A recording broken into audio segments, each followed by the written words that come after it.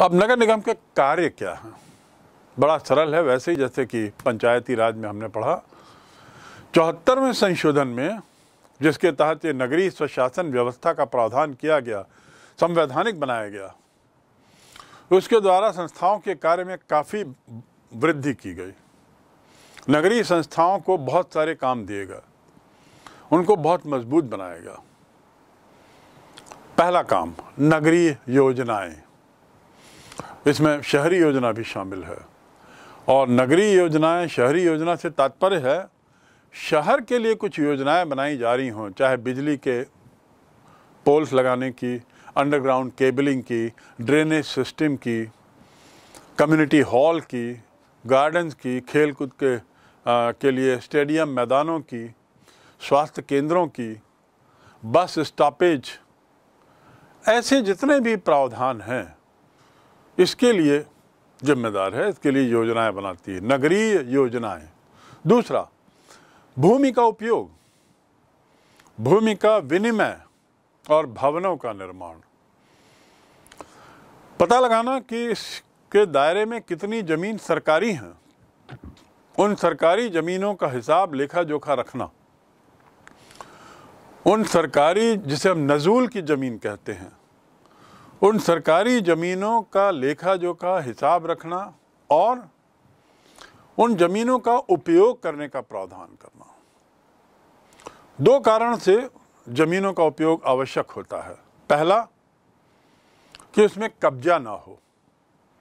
यदि ज़मीनों को ऐसे ही छोड़ दिया जाए, ध्यान न दिया जाए तो असामाजिक तत्व, निज तत्व आकर उस पर कब्जा कर बैठते हैं। फिर उसके बाद खाली कराने में बहुत दिक्कत होती है। तो पहला तो इसका काम यह हो जाता है नगर निगम के, कि सुनिश्चित करे कि नजूल की ज़मीनों पर कोई कब्जा ना हो। दूसरा, उसका उपयोग, अब उपयोग के दो कारण हो सकते हैं। एक तो भवनों के निर्माण के माध्यम से कार्यालय आदि स्थापित करना, क्योंकि बहुत से नगर निगम के कार्यालय किराए में चल रहे हैं, किराए के भवनों में तो किराए में बहुत पैसा जाता है। यहाँ पर यदि वे स्वयं के अपने भवन हो जाएँ तो किराए से बचेंगे, ज़मीन भी सुरक्षित रहेगी। तो किराए वगैरह बचाने के लिए, अपना मद खर्च बचाने के लिए अपने भवनों का निर्माण करना। दूसरा, भवनों का निर्माण इसलिए भी कि वहाँ कमर्शियल उपयोग के लिए दुकानें आदि खोली जाए और उससे किराया लिया जाए, जिससे कि नगर निगम के स्रोत का ज़रिया बढ़े। ये दूसरा उद्देश्य हो गया। तो अपनी आमदनी को बढ़ाने के लिए भी नजूल की ज़मीन में भवन निर्माण आदि किया जाता है नगर निगम के द्वारा। तो भवनों का निर्माण, ज़मीन का विनिमय, ये नगर निगम तय करता है कि किस ज़मीन में, कितने क्षेत्र में गार्डन बनाया जा सकता है, किस तरह का गार्डन होगा, तालाब बनाया जा सकता है, किस तरह का तालाब होगा, सौंदर्यीकरण कितना होगा बच्चों के लिए प्ले फ़ील्ड बनाए जाएँ। किस क्षेत्र में कितना बनाया जाए? प्राथमिक शालाएँ, माध्यमिक शालाएँ खोली जाएँ और नगर निगम के स्कूल भी होते हैं। रायपुर शहर में चारों तरफ़ नगर निगम के स्कूल हैं।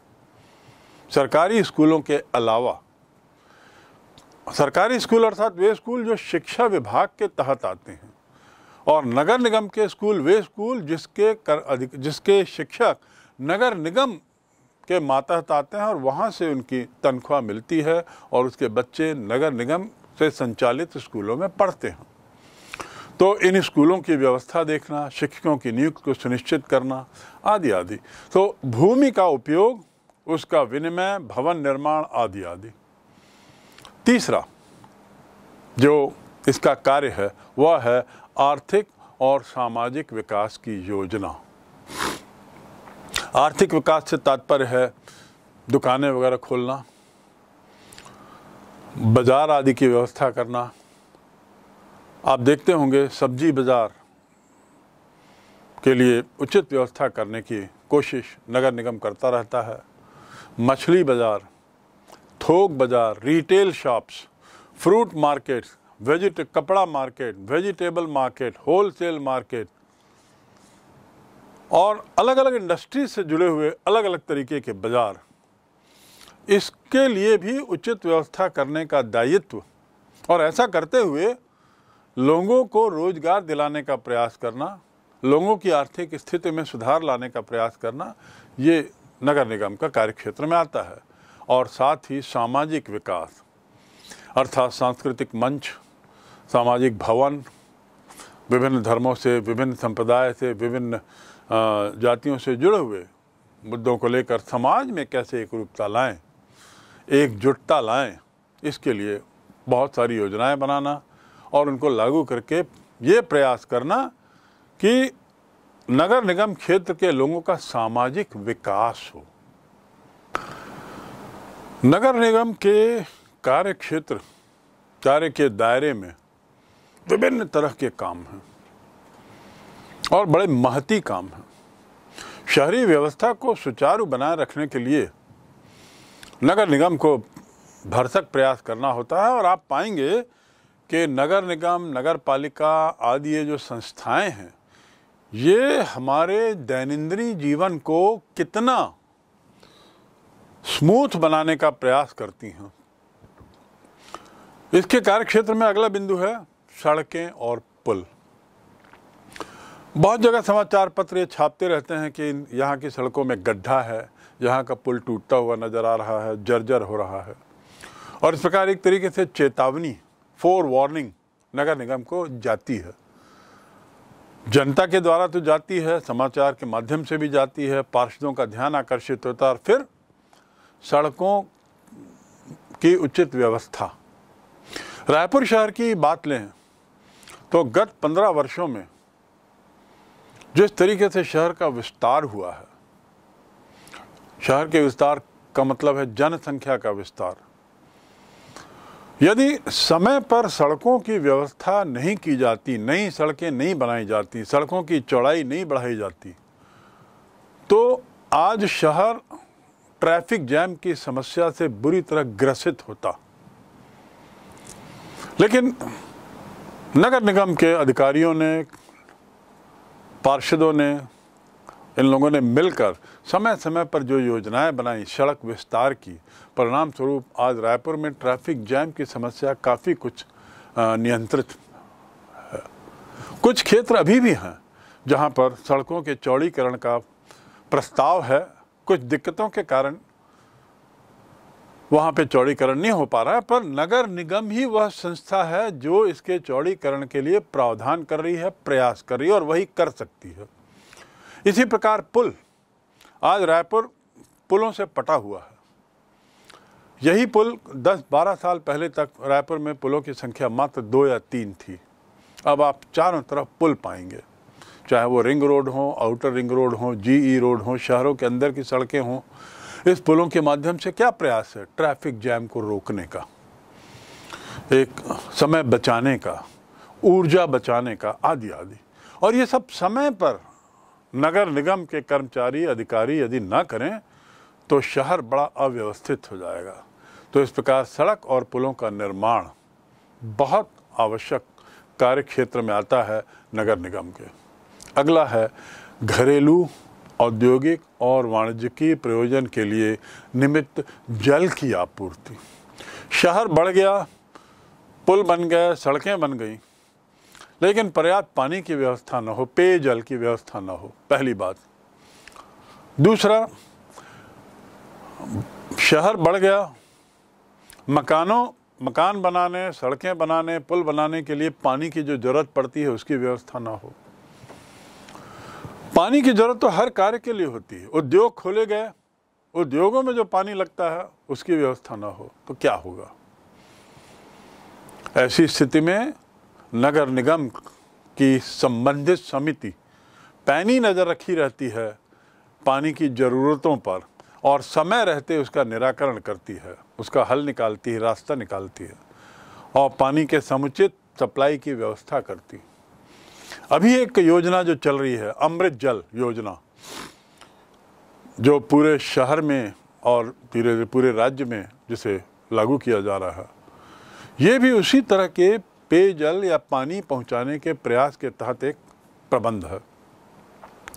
तो इस प्रकार घरेलू, औद्योगिक और वाणिज्यिक उपयोग के लिए निमित्त जरूरतमंद जल की आपूर्ति उनका अगला कार्य है। इसके बाद अगला। लोक स्वास्थ्य, स्वच्छता, सफ़ाई, कूड़ा करकट का प्रबंधन। लोक स्वास्थ्य अर्थात पब्लिक हेल्थ पब्लिक हेल्थ के लिए अलग अलग राज्यों में अलग अलग प्रावधान किया गया। नगर निगम अपने अपने तरीके से कार्य करते हैं। वहाँ की ज़रूरतों को और विभिन्न दिक्कतों को देखते हुए। दिल्ली की बात करें तो वहाँ हेल्थ क्लिनिक खोले गए हैं कॉलोनियों में। छत्तीसगढ़ की बात करें तो यहाँ पे मोबाइल वैन्स की तरह जैसी व्यवस्था भी की गई है और बहुत जगह क्लिनिक खोले गए हैं। ये लोक स्वास्थ्य के मद्देनज़र नगर निगम के द्वारा किए गए प्रयास हैं। स्वच्छता और सफ़ाई और कूड़ा करकट, इसके संबंध में आपने कई तरह के अभियान देखे होंगे जो समय समय पर चलाए गए हैं और कई तरह के प्रयोग हो रहे हैं। अंबिकापुर क्षेत्र में ये नगर निगम ही है जिसने कूड़ा करकट को रिसाइकिल करके उसका दूसरे उपयोग के लिए व्यवस्था की है। रिसाइकिल्ड कूड़ा करकट, जब रिसाइकिल होता है तो उसके बाद जो प्रोडक्ट निकलता है, उसके कई अन्य सदुपयोग, अच्छे उपयोग किए जा रहे हैं। और इस प्रकार ये सुनिश्चित किया जा रहा है कि कूड़ा करकट का ढेर कहीं इकट्ठा ना हो। ये नगर निगम का प्रयास है। रायपुर में आपने देखा होगा और अन्य शहरों में, छत्तीसगढ़ में, कि वहाँ अब वैन्स चल रहे हैं मोबाइल वैन्स जो संगीत में तरीके से संगीत के साथ कॉलोनी कॉलोनी जाकर कचरा इकट्ठा करते हैं और उसके बाद उस सारे कचरे को एक जगह, हज़ारों की संख्या में ऐसी गाड़ियाँ एक जगह कचरा डंप करती हैं। ये व्यवस्था भी कौन किया है? नगर निगम नहीं किया है। उसके बाद आपने सड़कों में देखा होगा, सफ़ाई होती है सड़कों की। रात भर कई जगह सफ़ाई चलती है सड़कों की। बहुत सारी पुरुष और महिलाएँ यूनिफॉर्म में रह के उसकी सफ़ाई करते हैं। ये व्यवस्था भी नगर निगम की है। इसके बाद अग्निशमन सेवा, फायर सर्विस, बहुत ही महत्वपूर्ण अंग है नगर निगम के कार्य क्षेत्र का। वर्तमान में रायपुर जैसे शहरों में या छत्तीसगढ़ के अधिकतर शहरों में फ्लैट सिस्टम नहीं है उतना, जहाँ पे हाई राइजिंग बिल्डिंग्स बनी हों। लेकिन ऐसे शहरों में जहाँ पे हाई राइजिंग बिल्डिंग्स ही जीवन का अंग हो गया है, चाहे वो बॉम्बे हो, नागपुर हो, पुणे हो, आदि आदि, वहाँ पर ये अग्निशमन यंत्र या अग्निशमन गाड़ियाँ या फायर सर्विस अत्याधिक महत्वपूर्ण हो जाती है। लेकिन रायपुर जैसे शहरों में भी बारंबार फायर सर्विस फायर टेंडर जिसे कहते हैं, जो लाल गाड़ियाँ होती हैं इनकी ज़रूरत जब तब पड़ती है जब आग लग जाती है दुकानों में, किसी क्षेत्र में, झुग्गी, झोपड़ी में, आदि आदि। अब लगती है आग, शॉर्ट सर्किट से लगाई जाती है, कुछ और बातें होती हैं, वो एक दूसरी समस्या है। लेकिन आग से रोकने के लिए, आग के विस्तार को रोकने के लिए अग्निशमन यंत्रों की, वाहन की व्यवस्था बहुत ज़रूरी है और नगर निगम इस पर विशेष ध्यान रखता है। इसके साथ ही नगर निगम का जहाँ तक फायर सर्विस की बात है, ये उसकी ज़िम्मेदारी है देखना कि जो भी हाई राइजिंग बिल्डिंग्स बन रही हैं, निजी स्तर पर भी, सरकारी स्तर पर तो है ही, निजी स्तर पर भी जो भी अस्पताल mall cinema hall shopping centres आदि खुल रहे हैं, वहाँ पर संबंधित मालिकों द्वारा उचित व्यवस्था की गई है कि नहीं फायर प्रिवेंशन की, ये काम भी नगर निगम का होता है। नगर निगम सर्टिफाई करता है कि इस भवन निर्माण में उचित प्रावधान किया गया है कि नहीं किया गया है फायर से बचने का, बचाने का। जिसके लिए बहुत बड़ी टंकी होना आवश्यक है, उचित तरीके की पाइपलाइन होना आवश्यक है, आदि आदि। तो ये नगर निगम के कार्य क्षेत्र का एक बहुत महत्वपूर्ण अंग है। अग्निशमन सेवाएँ। इसके बाद अगला है, नगरीय वानिकी पर्यावरण का संरक्षण और पारिस्थितिक पहलुओं की अभिवृद्धि। अब ये नगरीय वानिकी क्या है? नगर में आज चारों तरफ़ कंस्ट्रक्शन हो रहे हैं, निर्माण हो रहे हैं। सीमेंट और धूल से बहुत से सारे शहर पटे हुए हैं।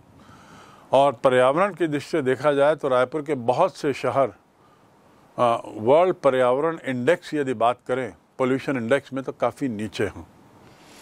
दिल्ली की स्थिति तो बहुत ही खराब है। ऐसी स्थिति में पहले से ही चेष्टा करके नगर निगम यदि पर्याप्त वनों की व्यवस्था करे, शहरों को वनाच्छादित कर दे, ऐसे पॉकेट्स बनाए जहाँ पे ऐसे पेड़ लगाए जाएँ जो पर्याप्त ऑक्सीजन देते हों और साल भर जो हरियाली देते हों तो शहर के निवासियों को, शहर को काफ़ी राहत मिलती है। ये काम नगर निगम का है, बहुत महत्वपूर्ण। नगरीय वानिकी। उसी के तहत आता है पर्यावरण का संरक्षण। ये नज़र रखना कि शहर का पर्यावरण जो स्तर है, वो उचित मानक पर है कि नहीं। पर्यावरण को बचाए रखना, सुनिश्चित करना कि धूल आदि का असर जनता पर न्यूनतम हो। और इसीलिए सड़कों की धूल की सफ़ाई,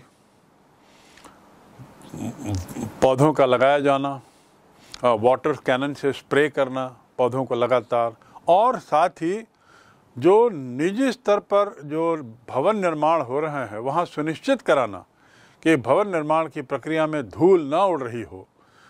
बनाने वाले लोग हरे कपड़े से चारों तरफ़ उसको ढके हुए हों ये नगर निगम का कार्य है। आप देखते होंगे कि बहुत से जो नवनिर्मित मकान, जो मकान बन रहे हैं, उनमें हरे कपड़े लगाए जाते हैं, उनके निर्माण के दौरान, ताकि तोड़ फोड़ की प्रक्रिया में और सीमेंट की इसकी प्रक्रिया में धूल चारों तरफ़ न उड़ रही हो, उस वहीं अंदर रुक जाए। तो पर्यावरण संबंधी मुद्दा बहुत अहम मुद्दा है नगर निगम का। अगला समाज के कमज़ोर वर्ग के लिए कुछ प्रयास करना, संरक्षण करना। ये समाज के कमज़ोर वर्ग का प्रयास से क्या मायने हैं? जब एक शहरी संख्या होती है तो निश्चित रूप से एक ऐसी संख्या भी पनप जाती है, जिसे हम मंद बुद्धि कह सकते हैं, मानसिक रूप से मंद स्तर कह सकते हैं, विकलांग कह सकते हैं। दुर्भाग्य से ऐसी संख्या काफ़ी है। इनकी व्यवस्था करना, इनके रहने की उचित व्यवस्था, जीवन यापन की उचित व्यवस्था, पढ़ाई आदि की व्यवस्था जहाँ संभव है, इनके आमोद प्रमोद की व्यवस्था आदि आदि। ये बाल आश्रम, वृद्ध आश्रम, लड़कियों के लिए हॉस्टल और विभिन्न जगहों पर जो विकलांग लोग हैं, उनके लिए ऊपर चढ़ने के लिए रैंप आदि की व्यवस्था व्हील चेयर ये सब नगर निगम करता है, करते आया है। और ऐसे बहुत से बाल आश्रम और वृद्धाश्रम आप पाएँगे जो बढ़ रहे हैं, जिनकी संख्या बढ़ रही है, जहाँ आय तो नहीं होती, निगम का खर्च ही होता है, लेकिन निगम इसे अपनी ज़िम्मेदारी मानता हुआ समाज, सामाजिक उत्थान के लिए, सामाजिक स्तर को उचित बनाए रखने के लिए ये काम को बखूबी करता है। तो समाज के कमज़ोर वर्गों का संरक्षण अगला जो इसका कार्य है, वह है गंदी बस्तियों में सुधार। जब शहर बनते हैं तो एक स्वाभाविक बुराई इसके अंदर आती है, झुग्गी झोपड़ियों का पनपना। ये झुग्गी झोपड़ियों के पनपने के बहुत से कारण हैं। एक कारण है निर्माण कार्य में लगे हुए मजदूर वहीं स्थायी रूप से रहने लगते हैं। दूसरा कारण है कि बड़े शहरों में घर में काम करने वालों की बहुत ज़रूरत होती है तो रोज़गार की तलाश में गाँव से लोग आके छोटी छोटी ज़मीन में कहीं पे भी झुग्गी झोपड़ बनाकर रहने लगते हैं। और इस प्रकार वहाँ का वातावरण बहुत ही दूषित हो जाता है। उनकी जीवन शैली बड़ी शोचनीय रहती है। पानी की व्यवस्था नहीं, बिजली की व्यवस्था नहीं, हवा, सूरज की व्यवस्था, सूरज की रोशनी की व्यवस्था नहीं, अंधकार में माहौल, कोई रास्ते नहीं, दलदली इलाका पूरा। आप किसी भी शहर के आउटर क्षेत्र में जाएँ, उसकी पेरीफेरी में जाएँ तो आप पाएँगे ऐसे कितने गंदी बस्तियों के झुंड बने हुए हैं। और इसके पीछे कारण यही है। एम्प्लॉयमेंट की खोज में वो चले आते हैं। तो इनके रहन रहन सहन में सुधार, कम से कम बस्तियों में सफ़ाई की व्यवस्था करना नगर निगम के दायरे में आता है। वह प्रयास करे, प्रयास करती है कि इन गंदी बस्तियों में किसी तरह की बीमारी, महामारी ना फैले। चाहे वो हैजा हो, चेचक हो या कुछ अन्य बीमारियाँ हों रुके हुए पानी से मलेरिया आदि हो जाता है और वहाँ जो नदी, जो नाले वगैरह रहते हैं, उसमें पानी रुका रहता है। शौचालय की व्यवस्था नहीं रहती। खुले में शौच के लिए गंदी बस्तियों के लोग जाते हैं। तो इस सब के मद्देनज़र सामाजिक व्यवस्था जो है कहीं चरमरा ना जाए, इसलिए नगर निगम का दायित्व हो जाता है कि वह गंदी बस्तियों में भी सुधार का उचित प्रावधान करे, उचित प्रयास करे। अगला कार्य, नगरीय निर्धनता में कमी। ये नगरीय निर्धनता के क्या मायने हैं? अर्थात जो निम्न वर्ग के तबका जो नगर में आ गया है, बहुत से कारणों से उनका स्तर को उठाया जाए, उनकी आमदनी बढ़ाने का प्रयास किया जाए। अगला बिंदु, नगरीय सुख सुविधाएँ। जैसे मैंने आपको बताया, उद्यान। इसके क्या मायने हैं? सांस्कृतिक कल्चरल एक्टिविटीज़ को बढ़ाने का प्रयास करना। विभिन्न धर्मों से जुड़े हुए सांस्कृतिक आयोजन करवाना। उसके लिए बाहर से कलाकारों को बुलाना। रायपुर में जैसे आप देखते होंगे, आदिवासी मेला लगता है। और उसमें विदेशी क्षेत्रों से भी आदिवासी लोगों को बुलाकर उनके नृत्य के कार्यक्रम आदि किए गए। ये सांस्कृतिक व्यवस्था, इसके साथ ही शैक्षणिक व्यवस्था। मैंने आपको बताया नगर निगम के स्कूल, खासकर प्राइमरी और मिडिल स्कूल निम्न स्तर पर बच्चों की संख्या बहुत ज़्यादा है और उनके ड्रॉप आउट की संख्या भी बहुत ज़्यादा है। ऐसे बच्चे हज़ारों की संख्या में हैं जो पाँचवीं आते आते स्कूल छोड़ देते हैं और अपनी जीविका के लिए मजदूरी करने लगते हैं। और इस प्रकार अशिक्षित रह जाते हैं। ऐसे अशिक्षित बच्चे असामाजिक तत्व के रूप में बदलते हैं आने वाले समय में। ऐसे अशिक्षित बच्चे समाज के लिए बोझ बन जाते हैं। तो ऐसी स्थिति ना आए, इसके लिए नगर निगम बारंबार प्रयास करता है कि सभी बच्चों को निश्चित रूप से शिक्षा दी जाए और उसके लिए स्कूलों की व्यवस्था की जाए। तो नगर निगम के स्कूल बड़ी संख्या में खोले जाते हैं और इसके अलावा सौंदर्य परक पहलू। सौंदर्य परक पहलू से क्या तात्पर्य है? तेली बांधा का तालाब आपने देखा। उसे एक तालाब के रूप में छोड़ा जा सकता था। साफ़ तालाब, बूढ़ा तालाब, उसे एक साफ़ तालाब बनाकर छोड़ा जा सकता था, पर नगर निगम यही नहीं रुका। उसने उसके सौंदर्यीकरण की व्यवस्था की और इतनी व्यवस्था की है कि शहर का एक अच्छा खासा वर्ग इन तालाबों के आसपास अपना समय गुजारने जाता है। शाम को वहाँ पर पिकनिक मनाने जाता है, आदि आदि। और ये सौंदर्यीकरण के कई पहलू हैं, चाहे फव्वारों के रूप में, चाहे रंग बिरंगे पेंट के रूप में, दीवालों में, चाहे छोटे छोटे भोजन के, खाने के स्टॉल खोलने के रूप में, आदि आदि। और ये स्टॉल भी नगर निगम ही खुलवाता है। ये आपने देखा होगा बहुत जगह ऐसे स्टॉल्स खोलने का प्रावधान नगर निगम ने रायपुर में किया है, अन्य शहरों में भी किया है। तो इस प्रकार सांस्कृतिक, शैक्षणिक और सौंदर्यीकरण को ध्यान में रखते हुए वो व्यवस्था करती है। सड़कें जो हैं, उसको समय समय पर पेंट करना, पुलों के नीचे जो खाली स्थान है, उस पर कुछ ऐसी व्यवस्था करना कि पुल के नीचे का स्थान एक असामाजिक तत्वों का अड्डा ना बन जाए, बल्कि वहाँ पर कुछ प्लांट्स लग जाएँ, पौधे लग जाएँ, कुछ सौंदर्य का ऐसा कुछ राज्य से संबंधित, राज्य की संस्कृति और कल्चर से संबंधित कुछ चीज़ें वहाँ लगा दी जाएँ, ये व्यवस्था उसके तहत करता है नगर निगम। इसके बाद अगला कार्य है तालाब की व्यवस्था, बहुत महत्वपूर्ण काम। किसी समय में रायपुर तालाबों का शहर कहलाता था, हज़ारों तालाब होते थे, आज उनकी संख्या घटकर कुछ सौ तक रुक गई है। गत कई वर्षों से शासन ये सतत प्रयास कर रहा है। शासन से मेरा तात्पर्य है नगर निगम। और शासन में निश्चित रूप से नगर निगम को देखने के लिए या स्थानीय स्वशासन व्यवस्था को देखने के लिए एक मंत्री भी होता है। नगरीय शासन मंत्रालय, शहरी शासन मंत्रालय, नगरीय शासन मंत्रालय एक विभाग ही है मंत्रिमंडल में। जो सरकार की तरफ़ से नगर निगम पर नियंत्रित रखता है, नियंत्रण रखता है और सुनिश्चित करता है कि नगर निगम अपना कार्य बखूबी कर रही हो। क्योंकि नगर निगम के कार्यों में किसी भी तरह की ढिलाई यदि हुई तो शहर की व्यवस्था पूरी बिगड़ जाएगी और उसे वापस पटरी में लाने में बहुत मेहनत लग जाती है। तो उसी के मद्देनज़र तालाबों की व्यवस्था। अब ये सुनिश्चित किया जा रहा है कि पुराने बचे हुए तालाब अब बचे रहें, बचाए जा सकें। उनकी संख्या में और ह्रास, गिरावट ना हो। दूसरा, ये सुनिश्चित किया जा रहा है कि इन तालाबों का सौंदर्यीकरण किया जाए। इनके आसपास किसी तरह का कब्जा ना हो। उसके साथ ही कब्रिस्तान की व्यवस्था, शव गाड़ने की, जलाने की व्यवस्था, शमशान घाट शवदाह केंद्र, विद्युत शहदाह आदि की व्यवस्था, ये सब नगर निगम का कार्य है। जब शहर बढ़ा तो मृत्यु दर भी उस हद तक बढ़ती है। और ऐसी स्थिति में क्या होगा?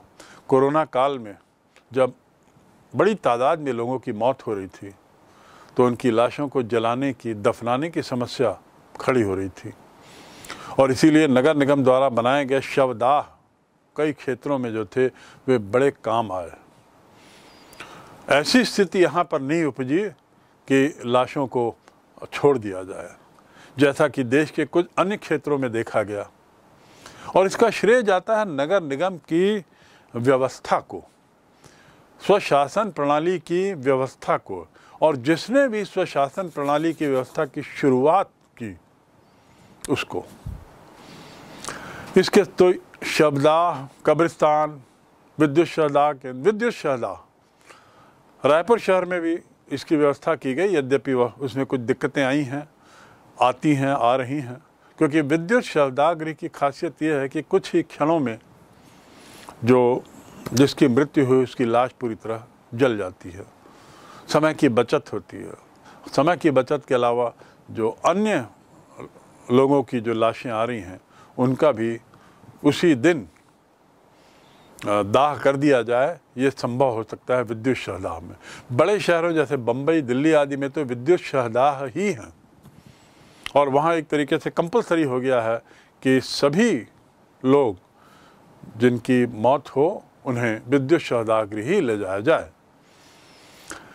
इसके बाद अगली जो व्यवस्था जो नगर निगम को करनी होती है, उसके कार्यक्षेत्र में आती है, वह है पशु, तालाब तथा जानवरों के प्रति क्रूरता को रोकना। पशुओं के प्रति जो क्रूरता है, चाहे वो स्ट्रीट डॉग्स हों, या गाय, भैंस, बैल आदि हों, या दूसरे ऐसे जानवर हों, और इनके प्रति जो क्रूरता है, चाहे शिकार करना या मार देना, ये करना, उसको रोकना। और इसे रोकने के लिए अब क्या व्यवस्था की जाती है? कि नगर निगम अपनी गाड़ियों में इन्हें पकड़ के ले जाता है, जो रास्ते में, मार्ग में बाधक हैं, सड़कों में बैठी रहती गाय आदि, और उनके रख रखाव की उचित व्यवस्था करता है। दूसरा, कुत्ते वगैरह हैं हैं तो स्ट्रीट डॉग्स बहुत से लोगों को काटते भी हैं, खतरा तो रहता है।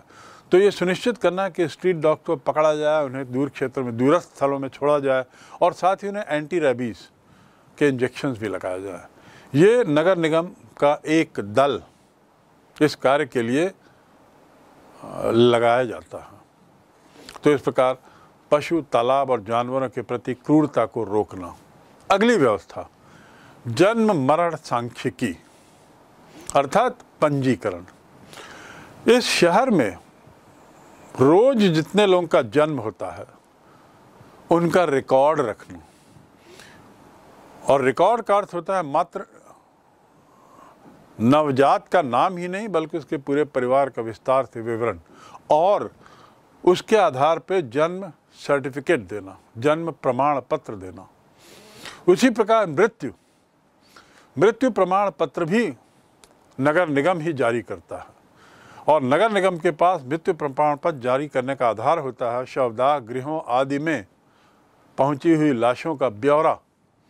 वो नगर निगम पहुंचाता है समय पर और वहाँ से मृत्यु प्रमाण पत्र जारी होता है। क्योंकि मृत्यु प्रमाण पत्र ना मिलने की स्थिति में किसी तरह का जो इंश्योरेंस जिसे हम कहते हैं, वो नहीं मिल पाता, मिलने में दिक्कत होती है लोगों को।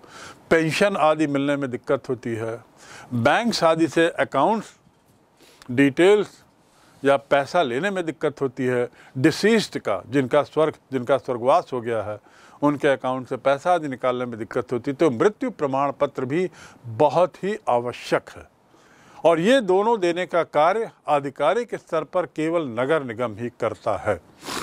और नगर निगम द्वारा जारी जन्म मृत्यु प्रमाण पत्र ही आधारिक प्रमाण पत्र माने जाते हैं। तो इस प्रकार से और इसके अलावा बहुत अहम चीज़ है कि इस इस आधार पे उस क्षेत्र की जनसंख्या और जनसंख्या का जो कंपोनेंट है कितनी महिलाएँ हैं, कितने पुरुष हैं, कितने नवजात हैं, कितने किस जाति के हैं, किस क्षेत्र के हैं, किस आर्थिक स्तर के हैं, ये पूरी जानकारी नगर निगम रखता है। उसी के आधार पे फिर वह विभिन्न योजनाएँ बनाता है।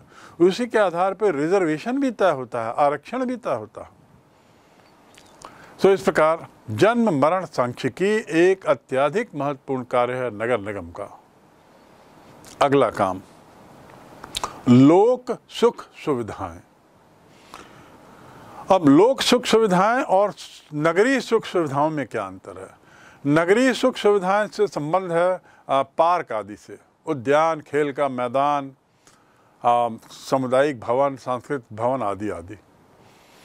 लेकिन लोक सुख सुविधाओं में आता है, जैसे पथ प्रकाश, सड़कों में रोशनी। ये सुनिश्चित करना कि शाम को शहर, विद्युत मंडल हो, अंधकार ना हो। अन्यथा लॉ एंड ऑर्डर की समस्या आती है।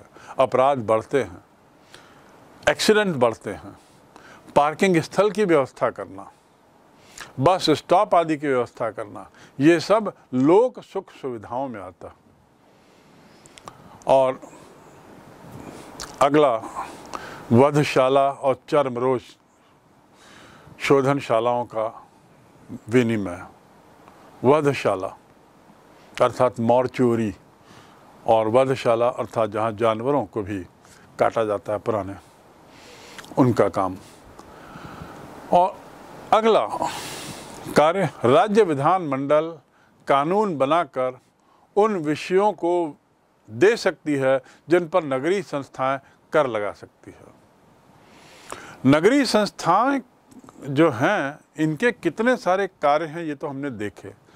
पुल बनाने से लेकर, सौंदर्यीकरण से लेकर हेल्थ क्लिनिक और न जाने क्या क्या प्रैक्टिकली व्यवहारिक दृष्टि से देखा जाए तो नगर निगम, नगर पालिका या स्वशासकीय संस्था हमारे जीवन के हर आयाम को रोज छूती है, प्रभावित करती है। चाहे वो जल हो, चाहे मल हो, चाहे सफ़ाई का हो या तालाब हो या अन्य तरह की सुविधाएँ, आवागमन हो, आमोद प्रमोद हो, आनंद हो, सफ़ाई हो, जो भी हो। आखिर इसके लिए पैसा कहाँ से आता? है और ये पैसा क्या पूरा का पूरा सरकार देती है?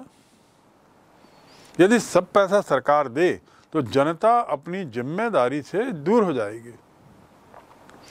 जनता जब स्वयं इन चीज़ों के लिए पैसा खर्च करती है अपनी जेब से तो वो इस बात के लिए कुछ हद तक सजग रहती है कि ये सुख सुविधाएँ उसे अपने ही पैसे से उपलब्ध कराई गई हैं और इसलिए इन सुख सुविधाओं को ठीक से संजोया जाए। तो इसलिए नगर निगम कर लगाती है। विभिन्न तरह के कर, चाहे वो जल कर हो, चाहे विद्युत कर हो, चाहे शिक्षा कर हो, जिसे सेस भी बोलते हैं, चाहे वो पथ कर हो पार्किंग कर हो, पार्किंग का टैक्स, आदि आदि, सिनेमा का टैक्स हो, ये सब कर नगर निगम लगाती है, लेकिन नगर निगम स्वयं में कर लगाने का निर्णय नहीं ले सकती। उसके लिए आवश्यक है कि राज्य विधान मंडल उसकी ज़रूरत महसूस करे करों की और उसका प्रावधान करे और नगरीय संस्थाओं को कर लगाने का किसी मुद्दे पर स्पष्ट आदेश दे। पार्किंग वगैरह पे जो टैक्स, जो पैसा लिया जाता है, बीस रुपए से लेकर तीस रुपए तक, ये भी कर ही है, जो नगर निगम के खाते में जाता है, जिससे वो सुनिश्चित करती है कि पार्किंग स्थल में उचित तरीके से पार्किंग हो, सुनिश्चित करती है कि पार्किंग स्थिति में जो कार्य करने वाले कर्मचारी हैं, उनकी तनख्वाह उसी से निकले, आदि आदि। और इसके विस्तृत कार्य क्षेत्र के, में अंतिम कार्य क्षेत्र उसके अलावा वैसे भी बहुत अन्य भी हैं, और इनका काम बढ़ता ही जा रहा है। लेकिन आपकी जानकारी के लिए अगला है कि वित्तीय स्थिति का पुनर्विलोकन करने के लिए वित्त आयोग का गठन, जो इन करों के निर्धारण, निवारण, उपयोग को देखती है, शुल्क, पथकर, फ़ीस की शुद्ध आय और संस्थानों तथा राज्य के बीच वितरण के लिए राज्यपाल से सिफारिश करती रहती। तो वित्त आयोग का एक बहुत महत्वपूर्ण रोल हो जाता है यहाँ पर, क्योंकि वही राज्यपाल को सिफारिश करती है इन सब के लिए, और निगर, नगर निगम की आय को बढ़ाना, नगर निगम की एक आय व्यय पर नियंत्रण रखना, और उसकी शुद्ध आय आदि का अध्ययन करना और उस पर अपनी रिपोर्ट प्रतिवेदन देना। तो इस प्रकार हम देखते हैं कि नगर निगम और वैसे ही महानगर पालिका नगर पालिका इनके कार्य बड़े विस्तृत हैं। और जैसा मैंने कहा, देखा जाए तो इनके हमारे जीवन, शहरी व्यक्ति के जीवन के हर क्षेत्र को ये प्रभावित करते हैं। आप अपने घर से निकले नहीं, कि आपने नगर निगम की सुविधाओं का उपयोग करना शुरू कर दिया, चाहे वो सड़क के रूप में हो चाहे स्ट्रीट लाइट्स के रूप में हो, चाहे पार्किंग के रूप में हो, चाहे सब्ज़ी हाट मार्केट में जाने को रूप में हो, किसी भी रूप में हो, आपने नगर निगम की सुविधाएँ लेनी शुरू की। या आप, आपका खुद का मकान है तो संपत्ति कर। क्योंकि वो भी एक बहुत महत्वपूर्ण ज़रिया हो जाता है नगर निगम की आय का। उसके अलावा आप मकान बना रहे हैं तो बनाते समय जो आपने रेत की ढलाई करवाई, ईंटें गिरवाई और इस प्रकार उस क्षेत्र को कुछ हद तक नुकसान पहुँचाया, सड़कों को या किनारे को, उसकी भी भरपाई आपको कर के रूप में करनी होती है और भवन निर्माण के समय आपसे अतिरिक्त कर लिया जाता है निर्माण कर। वह भी नगर निगम को जाता है। इस सब के रेट और दरें तय हैं। यदि इस पर कर ना लिया जाए तो लोग मकान बनाते समय कहीं पर भी रेत, ईंट, गिट्टी वगैरह गिरा चलें और आवागमन को प्रभावित करें। इन सबसे बचने के लिए भी नगर निगम इस तरह के टैक्स लगाता है। हाँ ये सब टैक्स विधानमंडल की अनुशंसा के बाद ही लगाए जा सकते हैं। और राज्यपाल की सहमति इसमें बहुत ज़रूरी है। नगर निगम के बाद अब हम आते हैं नगर पालिका पर।